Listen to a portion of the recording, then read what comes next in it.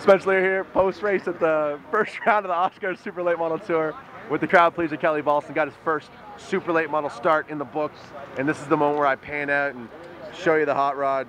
Still very much in one piece, so I mean you got to be happy about that. You're looking at the good side. In ninth place finish here tonight. Um, you, you combated a bit of a handling issue. We'll start with that. Walk me through your afternoon. It was a tank, and then it got crazy loose. Like I'm talking about in practice and stuff.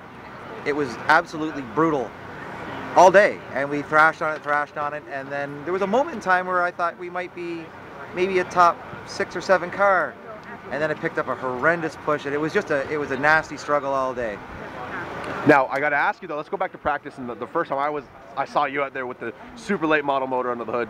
Roddy Cochran put together a beast of a motor for this thing. You make some steam down the back straightaway here at Sunset. Yeah, Roddy's put together some uh, some heavy steam going on, like you say.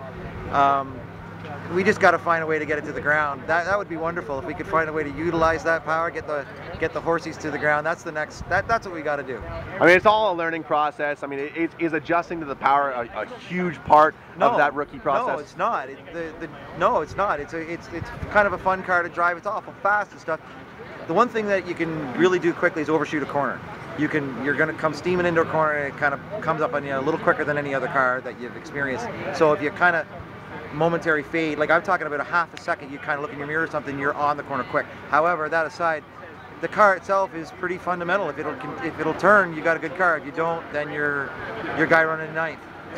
now, I mean, you still put together a top 10 finish on a night where a lot of guys were, were out very early. It turned into a survival of the fittest or survival of the smartest race pretty quickly because uh, we'll say at the, at the, start of the race, a bit of a lack of strategy, lack of patience, and a, a couple of guys got tore up, and luckily the B10 wasn't involved.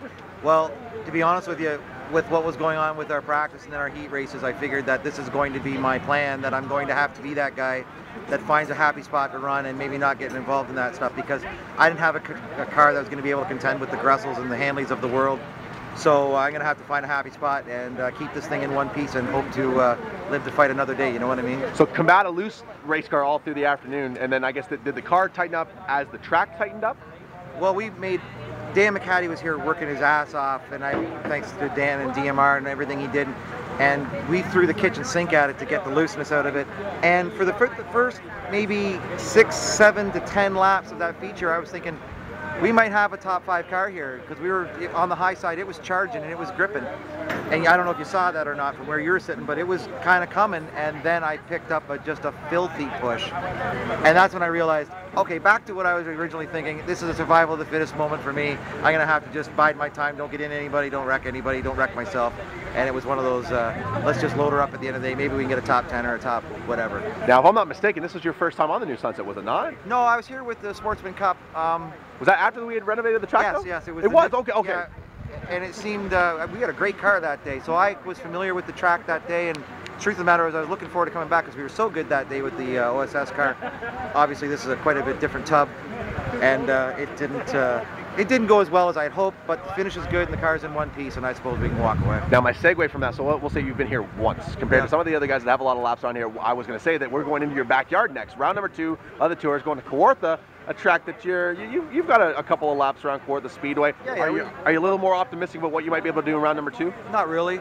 Um, this was so disappointing that it's going to take a few vodkas to get over. So, but you know, DMR Dan McCaddy's the king of Kawartha, and he's got some ideas. So that, I suppose, after maybe my third vodka, that might make, start making me feel better. I know it's not possible. A lot of support. This might be my favorite interview of the night, by the way. I know it's not possible. A lot of support. Thank the folks to make this uh, make this happen for you. I got to thank Roddy Cochran and Cochran Automotive who built this uh, big nasty plan underneath the. Uh, underneath the hood there. He flopped out his monster muscle tonight. And I gotta thank uh, Mike Schmidt for all he does, London Recreational on mine and Amanda's car. Thanks Mike, he's been over. I got a Ryan Coke sitting for him over here on the bench. He'll come and, don't worry, he'll come and grab it. And I wanna thank Spencer Lewis Promotions. Yes. He's helping us out this year. I don't know where he is though, but he's a hack.